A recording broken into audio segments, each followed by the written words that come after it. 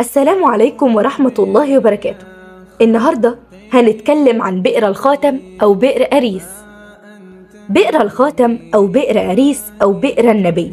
إحدى آبار المدينة المنورة التي شرب منها الرسول صلى الله عليه وسلم. وسميت ببئر الخاتم لأنها البئر التي وقع فيها خاتم النبي من يد الخليفة عثمان بن عفان رضي الله عنه. ينسب بئر أريس إلى رجل من اليهود اسمه أريس وتقع البئر في غرب مسجد قباء مقابل له بالقرب من الحديقة الصغيرة التابعة لسور المسجد وقد أزيل بسبب توسعة مسجد قباء. وهو المكان الذي بشر فيه الرسول عليه الصلاة والسلام أبا بكر الصديق وعمر بن الخطاب وعثمان بن عفان بالجنة. وقد لبس الرسول صلى الله عليه وسلم خاتما. لبسه من بعده أبو بكر الصديق طيلة فترة خلافته. ثم لبسه عمر بن الخطاب طيلة فترة خلافته. ثم لبسه عثمان بن عفان إلى السنة السادسة من ولايته.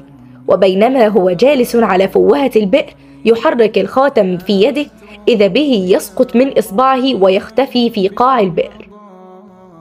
اغتم عثمان لفقد الخاتم وأمر بنسح الماء. واستمرت عملية البحث ثلاثة أيام دون جدوى وكان سقوط الخاتم إرهاصا للفتنة التي حدثت في عهده وانتهت بمقتله رضي الله عنه. يقع بئر أريس في المدينة في حديقة على مقربة من مسجد قباء يبعد عنه حوالي ثمانية وثلاثون مترا فقط وكان عليها قبة شامخة في الهواء وقد أزيلت البئر بما عليها من قبة لصالح التوسعة السعودية لمسجد قباء. ويبدو أن البئر لم تكن عميقة حيث يصل عمقها إلى 12 مترا وقطر فتحتها متر ونصف. وماء البئر يصب في بركة تسقي الحديقة حيث يزرع فيها الفواكه وخاصة العنب. واشتهر هذا البئر لوروده في صحيح البخاري. فعن سعيد بن المسيب قال أخبرني أبو موسى الأشعري أنه توضأ في بيته ثم خرج. فقلت لألزمن رسول الله صلى الله عليه وسلم ولأكونن معه يومي هذا. قال فجاء المسجد فسأل عن النبي صلى الله عليه وسلم. فقالوا خرج ووجهه هنا. فخرجت على إثره أسأل عنه حتى دخل بئر أريس. فجلست عند الباب وبابها من جريد. حتى قضى رسول الله صلى الله عليه وسلم حاجته وتوضأ فقمت إليه فإذا هو جالس على بئر أريس وتوسط قفها وكشف عن ساقيه ودلاهما في البئر فسلمت عليه ثم انصرفت فجلست عند الباب فقلت لأكونن بواب رسول الله صلى الله عليه وسلم اليوم فجاء أبو بكر فدفع الباب فقلت من هذا؟ فقال أبو بكر فقلت على رسلك. ثم ذهبت. فقلت يا رسول الله هذا أبو بكر يستأذن. فقال ائذن له وبشره بالجنة. فأقبلت حتى قلت لأبي بكر ادخل. ورسول الله صلى الله عليه وسلم يبشرك بالجنة. فدخل أبو بكر فجلس عن يمين رسول الله صلى الله عليه وسلم معه في القف ودل رجليه في البئر كما صنع النبي صلى الله عليه وسلم. وكشف عن ساقي. ثم رجعت فجلست وقد تركت أخي يتوضأ ويلحقني. فقلت إن يريد الله بفلان خيرا يريد أخاه يأتي به. فإذا إنسان يحرك الباب فقلت من هذا؟ فقال عمر بن الخطاب. فقلت على رسلك. ثم جئت إلى رسول الله صلى الله عليه وسلم فسلمت عليه. فقلت هذا عمر بن الخطاب يستأذن. فقال ائذن له وبشره بالجنة. فجئت فقلت ادخل وبشرك رسول الله صلى الله عليه وسلم بالجنة. فدخل فجلس مع رسول الله صلى الله عليه وسلم في القف عن يساره ودل رجليه في البئر. ثم رجعت فجلست فقلت إن يرد الله بفلان خيرا يأتي به يعني أخاه. فجاء إنسان يحرك الباب فقلت من هذا؟ فقال عثمان بن عفان. فقلت على رسلك. فجئت رسول الله صلى الله عليه وسلم فأخبرته فقال إئذن له وبشره بالجنة على بلوى تصيبه. فجئته فقلت له ادخل يبشرك رسول الله صلى الله عليه وسلم بالجنة على بلوى تصيبك.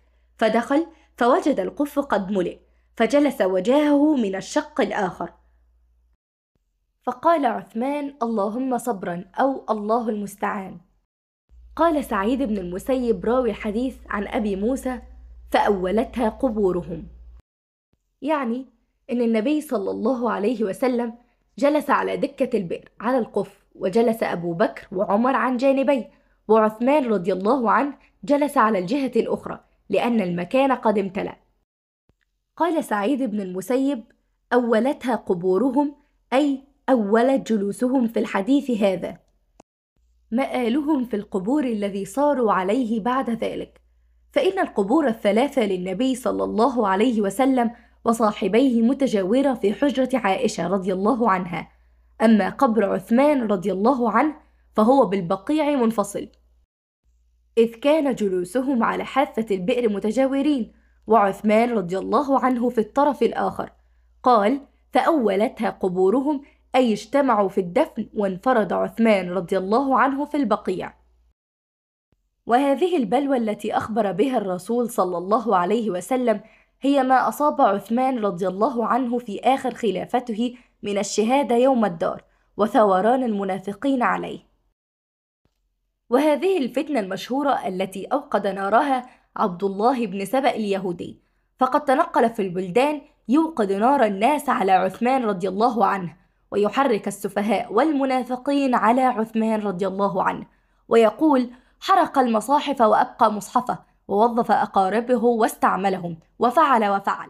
فاجتمع خلق من هؤلاء المنافقين وساروا إلى المدينة وتسلحوا واقتحموا المدينة وعاثوا فيها فسادا وتسوروا دار عثمان رضي الله عنه يريدون اقتحامه. وكان الصحابة قد حرسوا دار عثمان رضي الله عنه ولكن عثمان رضي الله عنه أصدر الأمر للصحابة بألا يحرسوه ولا يقاتلوا دونه وأن ينصرفوا أراد عثمان رضي الله عنه أن يفتدي بدمه حتى لا يحصل قتال بين الصحابة وبين هؤلاء الثوار. فلما أمرهم وهو الخليفة وكان لزاما عليهم أن يطيعوه اقتحم داره هؤلاء. وكان عثمان رضي الله عنه قد نشر مصحفه يقرأ فضربوه بالسيف فوقع على يد امرأته نائلة فقطع أصابعها ثم ضربوه بالسيف وهو يقرأ القرآن. فقتل عثمان رضي الله عنه مظلوما وذهب شهيدا إلى ربه.